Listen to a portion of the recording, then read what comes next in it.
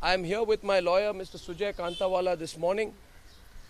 As a law abiding citizen of this country, I am here to subject myself to being interrogated by the Mumbai police. The Mumbai police has said that it has to urgently interrogate me in connection with the complaints made by a Congress leader about my statements with Sonia Gandhi. I have said nothing wrong. I stand by whatever I have said. These are completely political, motivated, and malicious charges against me that have been put by the Congress government in Maharashtra. I will make my statement clearly before the police. But I also hope, and I want to tell the Mumbai Police Commissioner, Mr. Parambir Singh, that he should also investigate the attack on me and my wife, who's a senior editor with Republic TV. I have filed a complaint.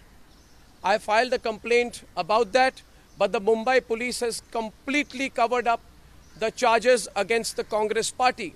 The attack on me was done by the Vadra Congress and on the instructions, without doubt, of the highest Congress leadership.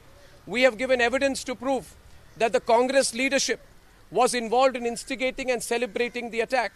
And therefore, I believe that it is completely unfair of the Mumbai police to cover up that case while investigating this case. It only shows that there is a lot of political prejudice.